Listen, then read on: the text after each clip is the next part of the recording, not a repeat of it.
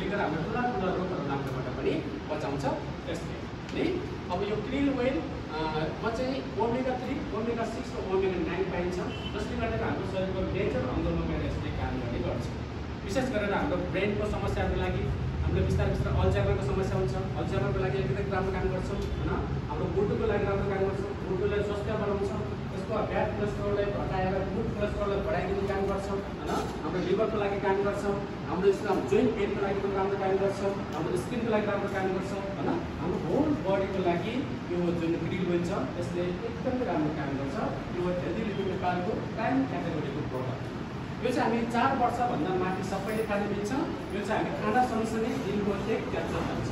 हजुरले दिनको एक क्याप्सुल अथवा दुई क्याप्सुलसम्म खान सक्नुहुन्छ। यो चाहिँ हामी खाना सँगसँगै खान्छौँ। होइन? खाना सँगसँगै खाने भन्दाखेरि चबाउने होइन खाना खाएर अब त्यो चबाएर निल्ने बेला हुन्छ निल्ने बेलामा यो क्याप्सुल राखेर हामी सँगसँगै तेल दिन्छौँ होइन? खाना खाँदैन खाएर मेरो अझै राम्रो रिजल्ट चाहिँ दिन्छ ओके?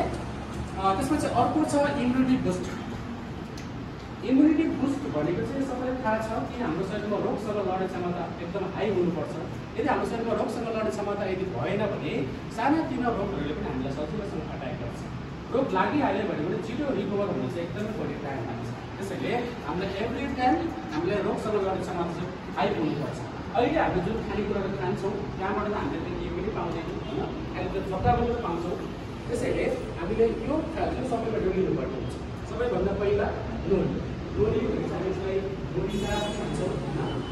लोनी एउटा फलबाट बनेको त्यो क्याप्सुलमा हुन्छ त्यो फलको क्याप्सुलमा बनाएको हुन्छ त्यो फलको जिरोले भन्दा के गर्छ भने हाम्रो कोषलाई सफा गर्छ कोषको टुक्रा दिने भएको छ हामीले यदि कोषको भन्दा हामीले खाएको हुन्छ अब कोष चाहिँ यसले बन्द भइरहेको छ तर कोष बन्द भइरहेको छ भने राम्रो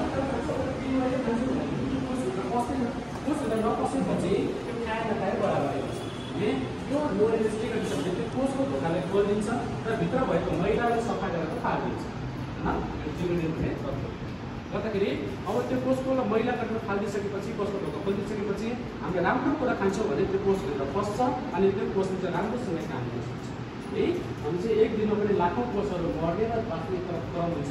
यदि हाम्रो शरीरमा चाहिँ कोषहरू मर्ने क्रम यदि बढी भयो भने अब त्यो कोषहरू बिस्तारै बिस्तारै ट्युमर सेल्समा परिवर्तन हुन्छ। भोलि गएर क्यान्सर क्यान्सर हुने सम्भावना हुन्छ। भने अब यो नोरीले चाहिँ भोलि गएर हाम्रो क्यान्सर हुनबाट पनि रोक्दो रहेछ। किनकि हाम्रो सेल्सलाई सफा गर्ने भएको हुनाले धेरै रोगहरूबाट चाहिँ हामीलाई छुटकारा दिँदैछ नोनी है? र नोनीले हाम्रो दमको समस्याको लागि पनि राम्रो काम गर्छ माइग्रेनको समस्या छ भने राम्रो काम गर्छ ग्यास्ट्रिकको समस्या पाइल्सको समस्या होइन? कब्जियतको समस्या छ भने पनि र भुलले गरेर त्यस्तो समस्या हुनभन्दा चाहिँ यसले रोक्छ यसले दिशा पनि मजाले राम्रोसँग खुलाइदिन्छ होइन? र फेरि नौनिकी राम्रो हुँदा हुँदा केही खाना हुँदैन। जसलाई किडनीको समस्या छ उहाँले खाना हुँदैन। देख्नु होला है? जसलाई किडनीको समस्या छ र जसलाई पोटासियमको मात्रा हाई छ उहाँहरूले खानु हुँदैन र हर व्यक्तिले खानु हुँदैन तपाईँले रोटी खाँदाखेरि दिनको पाँच पाँच दिन खाने दुई दिन ग्याप गरिदिनु है तपाईँले पाँच दिन खाने दुई दिन ग्याप गरिदिनु भयो भने अझै राम्रो रिजल्ट हुन्छ चाहिँ हामी खाना खानुभन्दा अगाडि खान्छौँ खाना खानुभन्दा आधी घन्टा अगाडि हामी खान्छौँ।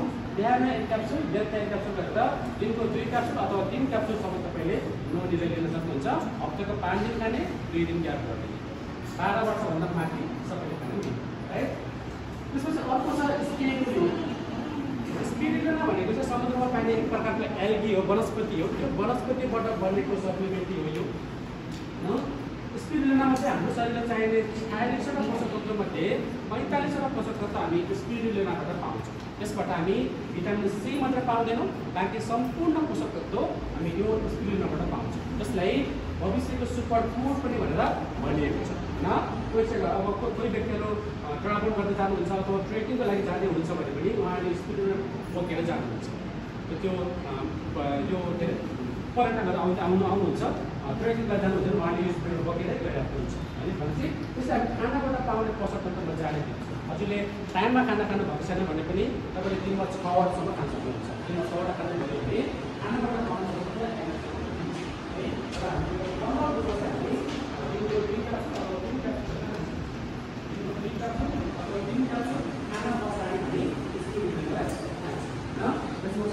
पावरफुल एनर्जी पनि दिन्छ। धेरै रोगबाट लड्ने क्षमता पनि यसले गर्छ त्यसले हामीलाई एउटा अल्कलिनको मात्रा एकदमै हाई दिन्छ होइन त्यसले चाहिँ हाम्रो स्वास्थ्यको लागि पनि धेरै राम्रो छ। र फेरि त्यो राम्रो हुँदा हुँदै फेरि केही दुखेर खाना हुँदैन। है? त्यसको चाहिँ अब अलिकति यो युरिक एसिडको मात्रा हाई छ उहाँले खाना हुँदैन। होइन कसैलाई हाइपर थाइरोइड छ थाइरोइडको समस्या भयो भने खाना हुँदैन। त्यसमा हाई प्रोटिन हुन्छ। हाई प्रोटिन खाना तपाईँले मना गरेको छ भने तपाईँले यो खानु भयो है? नत्र हर व्यक्तिले खान मिल्छ। बाह्र वर्षभन्दा थाइरोइड हुँदैन है थाइरोइड हाइपर अर्को चाहिँ uric acid uric acid high भएको व्यक्तिले खानु भयो होइन अलिकति कोलेस्ट्रोलको मात्रा एकदम हाई छ भने पनि खानु भयो है जस्तै चाहिँ डक्टरले प्रोटिनको मात्रा तपाईँले खानु हुँदैन भन्नुहुन्छ भने तपाईँले खानु त्यसमा हाई प्रोटिन हुन्छ हामी चाहिँ बाह्र वर्षभन्दा माथि सबैले खानु मिल्छ बिहान बेलुका एक एक क्याप्सुल खाना पछाडि खान्छौँ हामी यो चाहिँ हो कोलेस्ट्रोल कोलेस्ट्रोल भनेको चाहिँ आमाको पहिलो दुध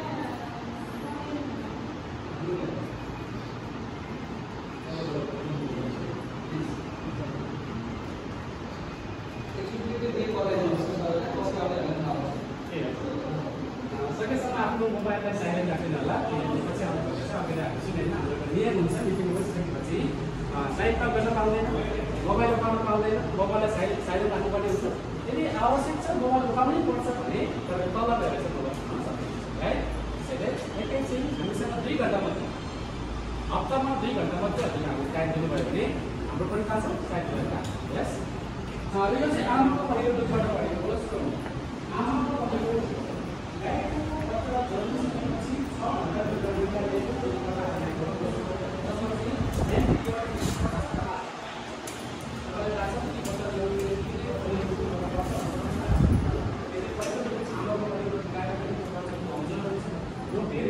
रोग लाग्यो भने पनि रिकभर एकदम टाइम लाग्छ त्यसैले आमाको पहिलो दुध खुवाउनु पर्छ यो पनि गाईको पहिलो दुध एफुटीबाट बनेको कोलेस्ट्रोल हो जसमा चाहिँ एन्टिबडिज एकदम प्रशस्त मात्रामा हुन्छ होइन? शुद्ध गाईको दुधमा भन्दा एक सय गुणा बढी एन्टिबडिज यसमा पाइन्छ जसको एन्टिबडिज भनेको चाहिँ इम्युनिटी पावरको हिस्सा होइन यो चाहिँ हामी पाँच वर्षदेखि माथि सबैले खानु मिल्छ भने यो तपाईँले सानो नानी बाबुलाई दिनुहुन्छ भने उसको स्मरण शक्ति पनि बढ्छ उसको ग्रोथ पनि बढ्छ उसको हरेक मांसपेशीहरू पनि राम्रो हुन्छ। कोलेस्ट्रोल अनि पाँच वर्षभन्दा माथि सबैलाई दिनुहुन्छ। बिहान बेलुका खाना पछाडि एक एक क्याप्सुल दिनको दुई क्याप्सुल अथवा तिन क्याप्सुलसम्म खान सक्छ यो चाहिँ क्याप्सुल कममा हुन्छ। यदि सानो नानी बाबुले लिन सकेन भने तपाईँले कोरेर तपाईँले दुधमा अथवा लिटरमा तपाईँले मिसाएर यो चाहिँ दिन सक्नुहुन्छ? नानी बाबु र फेरि अब यो कोलेस्ट्रोल चाहिँ एकदमै हाई मात्रामा ग्यास्ट्रिक छ भने उहाँले खानु पऱ्यो होइन एकदम एकदम हाई मात्रामा जुन लौक्यहरू ग्यास्ट्रिकहरू छ भने खानु हुँदैन। चाहिँ नर्मल ग्यास्ट्रिक त सबैलाई हुन्छ नै तर हाई मात्रामा छ भने खानु भएन। नत्र चाहिँ पाँच वर्षभन्दा माथि सबैले खान दिन्छ खाने यो कोलेस्ट्रोल त्यसपछि अर्को छ एलोभेरा। एलोभेरा हाम्रो सबैलाई थाहा छ। है यो चाहिँ एलोभेरा चाहिँ हाम्रो घर घरमा नै हुन्छ अहिले। एलोभेराले धेरै हामीले काम पनि गर्छ यसको होइन? भने यो एलोभेरा पनि क्याप्सुल फर्ममा राखिदिएको छ जुन एलोभेराले एलोभेरा भनेको चाहिँ घिउ कुमारी। यस? हामी चाहिँ यसलाई घिउ कुमारी भन्छ होइन? अब कुमारी किन भन्छ तपाईँलाई थाहा नै होला किनकि यसले के गर्छ भने मान्छेलाई कुमार कुमारी भनिरहेको त्यसैले यसको नामै भएको कुमारी। यसले कुमारी कुमारी मान्छेलाई कसरी बनाइरहेको छ भने यसमा चाहिँ एउटा कोलाजन भन्ने तत्त्व हुन्छ। त्यो कोलाजन भन्ने तत्त्वले चाहिँ हाम्रो स्किन र मासुलाई समातिने काम गर्छ। जसले हाम्रो स्किन टाइट हुन्छ छिटो ढिङ्क लाउँदैन अनि चाउरी पर्न दिँदैन। अनि लट्ठिन दिँदैन यो एलोभेरा। त्यसैले एलोभेरा हामीले प्रयोग गर्छौँ भने हाम्रो स्किनको लागि पनि एकदमै राम्रो। यो एलोभेरा स्किनको लागि मात्र होइन हामीलाई धेरै इम्युनिटी पावर पनि दिन्छ। राइट? यसले चाहिँ हाम्रो हाम्रो शरीरले चाहिने बिसवटा एमिनो एसिडमध्ये उन्नाइसवटा एमिनो एसिड हामी एलोभेराबाट प्राप्त गर्छौँ। है? र एलोभेराले हाम्रो भोलि गएर ग्यास्ट्रिक हुन दिँदैन पायस हुन दिँदैन कब्जियत हुन दिँदैन खाना पचाउने काम गर्छ त्यस्तो समस्याहरू पनि तपाईँले गर्न सक्नुहुन्छ र भोलि गएर तपाईँले त्यस्तो समस्याहरू हुनबाट बचाउँछ एलोभेरा। एलोभेराले हाम्रो लिभर हेल्थको लागि पनि राम्रो काम गर्छ होइन? त्यसले हाम्रो खुनको कोषलाई बढाउने काम गर्छ। यदि कसैलाई खुनको मात्रा कमी छ भने हजुरले एलोभेरा दिन सक्नुहुन्छ होइन र फेरि यो एलोभेरा फेरि राम्रो हुँदा हुँदै फेरि केही बिग्रेर खानु हुँदैन। जसलाई चाहिँ दमको समस्या छ अथवा यसलाई अलिक मात्रामा चिसो लाग्छ त्यस्तो व्यक्तिले खानु हुँदैन। किनकि आफूमा चिसो हुन्छ त्यसैले तपाईँले मात्रामा चिसो लाग्छ अथवा दमको समस्या छ भने खानु हुँदैन। एलोभेरा बाह्र वर्षभन्दा माथि सबैले सकिन्छ एलोभेरालाई बिहान एक क्याप्सुल बेलुका एक क्याप्सुल गरेर खान सक्छौँ एलोभेरा। अर्को छ अमला। अमला त सबैलाई थाहा नै छ होइन अमला अँ, बाट चाहिँ यो हजार वर्ष अगाडिबाट नै अमलालाई यो आयुर्वेदमा औषधिको रूपमा प्रयोग गर्दै आएको एउटा फल हो होइन? जसमा चाहिँ भिटामिन सी एकदम प्रशस्त मात्रामा पाइन्छ। होइन? भिटामिन सी त हाम्रो शरीरलाई एकदमै चाहिन्छ हाम्रो हार्टको लागि स्किनको लागि हाम्रो यो हेयरको लागि होइन? हरेक कुरालाई भिटामिन सी नभई हुँदैन हाम्रो शरीरमा भने यसमा भिटामिन सी एकदम प्रशस्त मात्रामा पाइन्छ होइन? त्यो अमलालाई क्याप्सुल फर्ममा बट्टामा राखेको मात्रै। होइन भनेपछि तपाईँले यो अमला खानुहुन्छ भने तपाईँले वर्षैभरि अमलालाई खान सक्नुहुन्छ। हजुरले स्पिरिलिना र अमला तपाईँले मिलाएर खानुहुन्छ भने तपाईँले शरीरमा चाहिने सम्पूर्ण प्राप्त गर्नुहुन्छ। स्पिरिलिनामा भिटामिन सी पाउँदैन सबै पाउँछ। चाहिँ भिटामिन सी प्रशस्त मात्रामा पाइन्छ। होइन तपाईँले त्यो दुईवटा खानुभयो भने तपाईँलाई शरीरमा चाहिने जुन पोषक तत्त्व तपाईँले बचाएर प्राप्त गर्नुहुन्छ। र यसले हाम्रो एउटा पिएच लेभललाई पनि यसले ब्यालेन्स गरिदिने काम गर्छ। होइन? हाम्रो शरीरमा पिएच लेभल हुन्छ। यदि पिएच लेभल ब्यालेन्स भएर भने हाम्रो चाहिँ धेरै हुन्छ। त्यस हाम्रो शरीरको पिएच लेभललाई पनि यसले ब्यालेन्स गरिदिने काम है? अब एलोभेरा हामी ग्यास्ट्रिकको समस्या थाइरोइडमा कब्जियतमा पनि प्रयोग गर्न सक्छौँ। खाना डाइजेस्टमा पनि प्रयोग गर्न सक्छौँ।